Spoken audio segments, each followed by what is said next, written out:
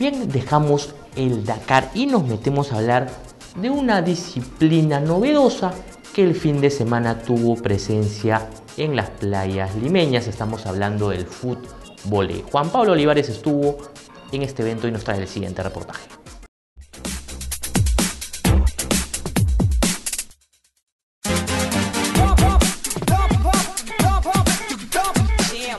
La playa Agua Dulce fue el escenario del torneo internacional Fútbol Perú-Brasil.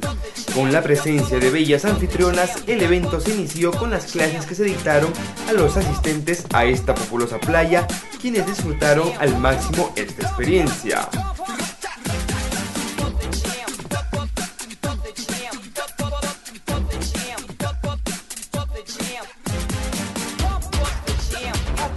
Dicho evento contó con la presencia de dos estrellas brasileñas en esta disciplina, Luis Octavio Alves de Souza y Rafael Costa da Silva, quienes llegaron con el objetivo junto a los representantes peruanos de fomentar esta nueva disciplina deportiva desconocida en nuestro país.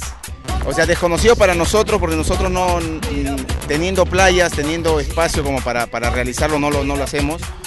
Eh, la técnica es totalmente diferente eh, al juego del fútbol normal pero, pero a Dios gracias, gracias a esta gente que nos ha, que nos ha, este, nos ha invitado a realizar este, este deporte nuevo para el Perú.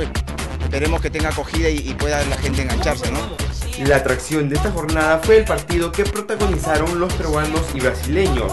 A pesar del gran esfuerzo de los locales, la victoria fue para los visitantes. Ya malo, hermano, eso que esos brasileros, ¿viste cómo se cómo saltaban? ¿Sabes qué? Parecía que estaba jugando contra el hijo de, de Smith, de Karate Kid. Cómo levantaban la pierna, no seas más.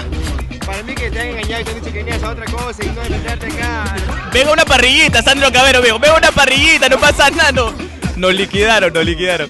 El físico y la técnica son básicos para la práctica de este deporte y se espera que la gente pueda practicar en todo el país.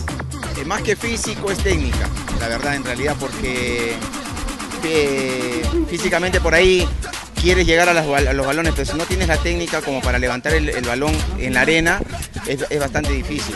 Entonces, este, igual lo ideal sería que, la gente lo practique, este, incentivar en diferentes playas este deporte, ojalá que, las cosas se den. Pues, Cabe recordar que el torneo llegará a diferentes playas a nivel nacional.